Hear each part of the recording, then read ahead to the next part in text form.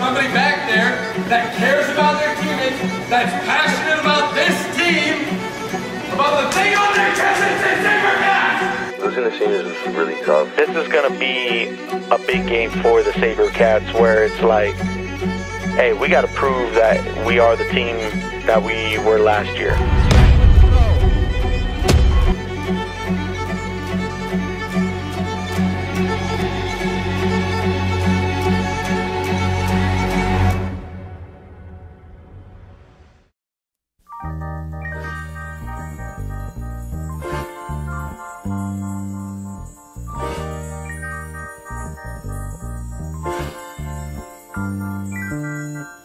Santan may look like the school that's just tucked behind a mountain, the school behind the mountain, the school in the middle of nowhere. That's what it's thought to by the people. But Santan's so much more than what people see.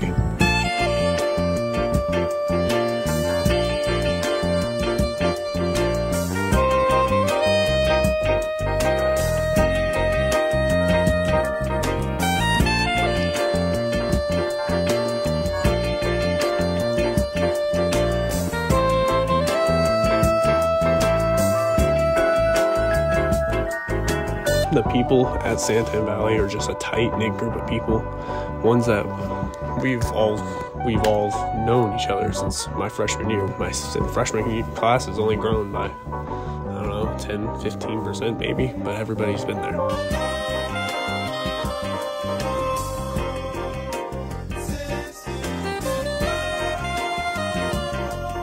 in the 3A Central and talk about a team that we knew had a lot of question marks coming into it, and that was the Santan Foothill SaberCats. Uh, they went up uh, vi- to visit Dysart and unfortunately uh, lost that game 35 to 14. Was that a big surprise for you as far as seeing not only the score but the team that they uh, faced?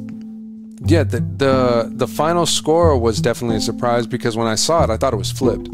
I thought that the Sabercats had put away the Dysart Demons decisively, but that just wasn't the case. I, I feel uh, this isn't just a telling of what the season is going to be like for the Sabercats because one thing that Coach mentioned while we were there is he loves doubt. And if, if that's what it takes, then I'm going to give him a little bit. That first game, I, I, I, I doubted that they would lose. I thought that they would win.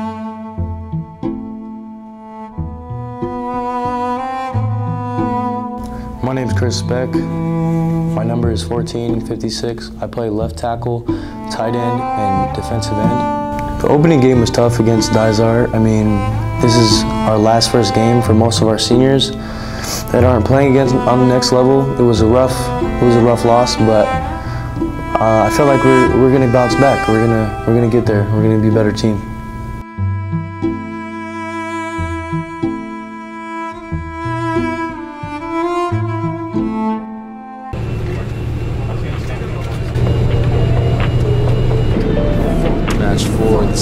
Sabercats. Do you think will emanate from the Walkup Skydome at NAU? The first of this doubleheader will be the Santan Foothill Sabercats taking on the Tempe Buffaloes. What do you think about this match for the Sabercats? Do you think that they'll be able to correct their woes of week one, or will they fall into that same pattern?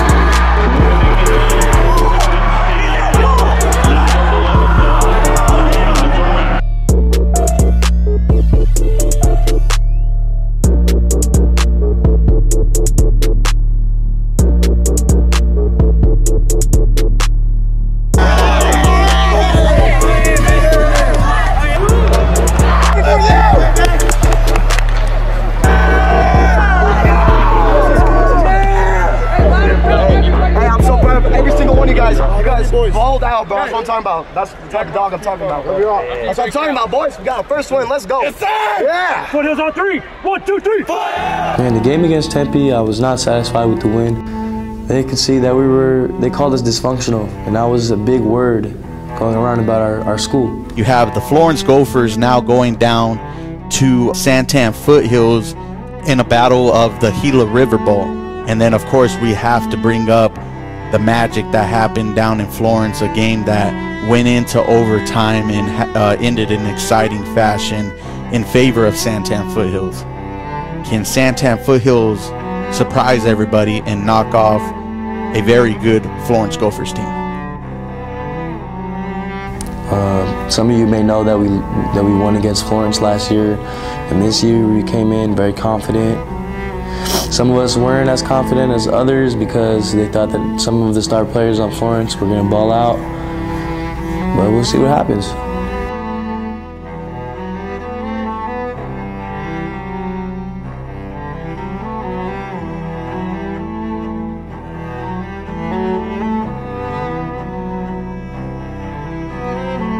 I was on the sideline and it was a very close game. And coach called my name. We saw Don go down where he took a nasty hit from one of their star players, Wrangler. And it was scary because I knew I was going to get subbed in because I was the only other quarterback at the time. And we went into overtime. The Florence Gophers, uh, they didn't they didn't have faith in me. So when they went up, they, they kicked the they kicked the field goal. And then we played college rules, so we got a possession two at the 10 yard line. And Coach Krolak called the play. He asked me if I knew it. I didn't know it. So I told him to play I knew. And then we went in there, took the snap, I dropped back, and I closed my eyes and threw it up to the tallest receiver that we had. And it worked. And it was it was the most it was like a movie. It, it was it left me speechless. It left me proud because before I went in, before I even thought of throwing the ball or anything like that, all I was saying was, God, please let me make a big play. Please let us beat Florence. I was, I was, I was asking him over and over again, and it happened. And it was, it was, a, it was a very good feeling for me and everybody else on the team to give that to each other and for each other to win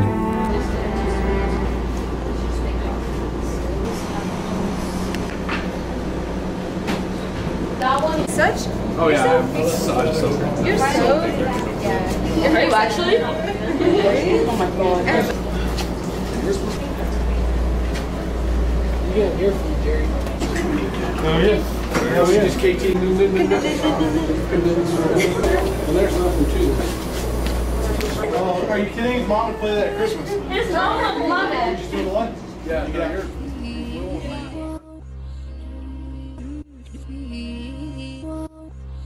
Yeah.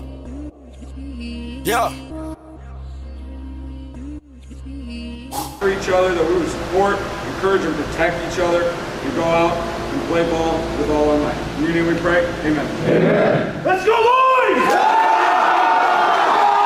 Let's go!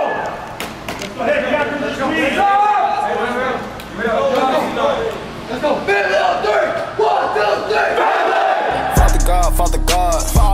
wanna live life. Life. Lamborghini loud pipes. Remember all the trial nights. Trial. Pull up in the Poltergeist.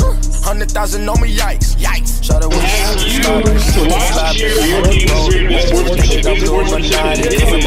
Pull up in Poltergeist. You had a n- that's popping. You got nothing, you ain't do it right. Traveling across the country, I can get money, say you get who a night. Cool make a get a Kruger fight. You was a in your cruiser. I was born to be what I'm going to born. The raindrops on me like a storm on me. He lick at my trunk, but I'm on it. Huh? The devil keep trying to come conquer me.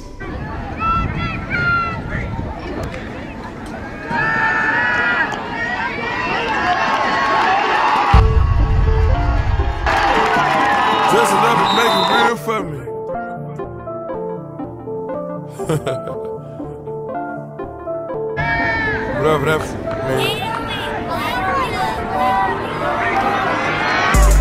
something in the it up and go to nasty. 200 miles on the dash. Got a rubber pound up the gas. Switching lanes in the Grand Rapids. Really run kept it cool without you. Start like a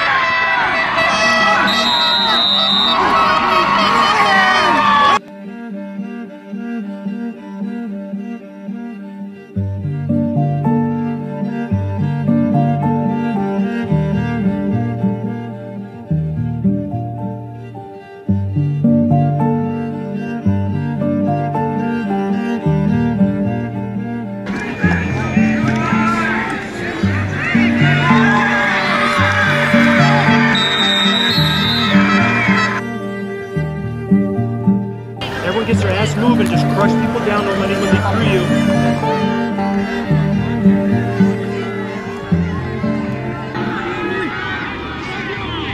Stretch my hands to you. Life like this is what your life like. Try to live a life right. People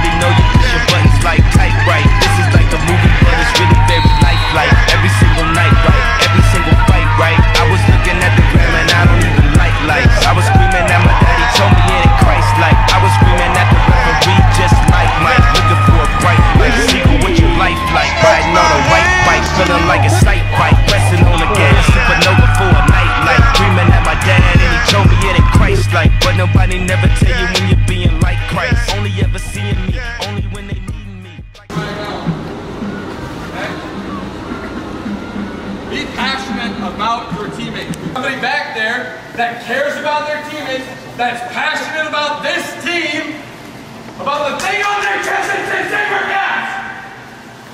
We will do that. Because we love each other and we're going to play for each other. Do we understand? Yes, sir. So let's go into this half. We're playing Bronco. We're keeping it nice and simple. And we're going to keep getting after them. And we're going to prove that we love our teammates more than they love theirs. For the game, Coach said, let's go out. Let's love, let's love the score. Okay, let's go Chris in. Come on, go. Foothills on three. One, two, three. Lost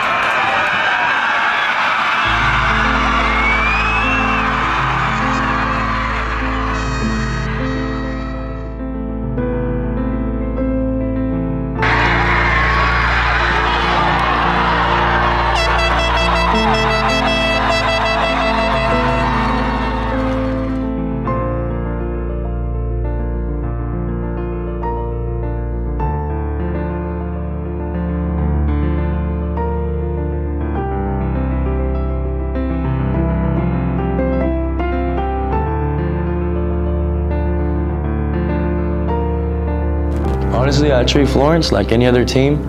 Um, we fought hard. We played very good. It was a close game. Previous years, we weren't even close. We were the guys who, when we got hit, we wouldn't get up or we would, we would try to get out of the game. These guys this year are tough. We're learning how to be the team that's physical and fights for the whole game, win or loss. And that's what Coach Carlin brought to this school.